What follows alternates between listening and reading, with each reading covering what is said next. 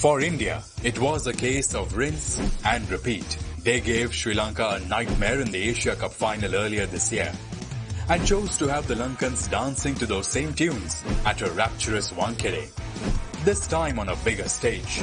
And as the men in blue stormed into the semis with their seventh win in seven, we were given an absolute treat with the numbers.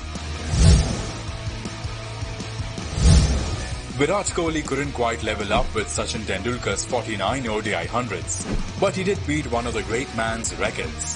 Thanks to a composed 88, he breached the 1000 run mark in a single calendar year for the eighth time. Kohli has now done that the most times in history and one more than his idol. After fine knocks from Kohli and Shubman Gill, Shreyas Iyer produced an explosive 82. And there was something unique about India's total of 357 for 8. It was their highest score without any of their batters getting 100. India's batting was measured and their bowling, well, just mayhem. The new ball bowlers reduced Sri Lanka's top order to 3 for 4.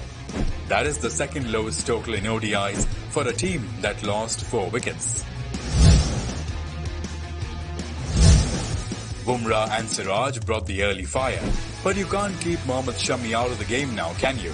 In a rip-roaring spell of 5 for 18, he took his tally of World Cup wickets to 45, and it has taken him just 14 matches. For the icing on the cake, he is now India's leading wicket taker in the ICC Men's Cricket World Cup. India were relentless as they wrapped up Sri Lanka for just 55. That is now the Lankans' second lowest total against the men in blue after their 50 all out in the Asia Cup final just a couple of months back. India are now the only team in history to have won by a margin of 300 runs twice, and both times against Sri Lanka this year itself.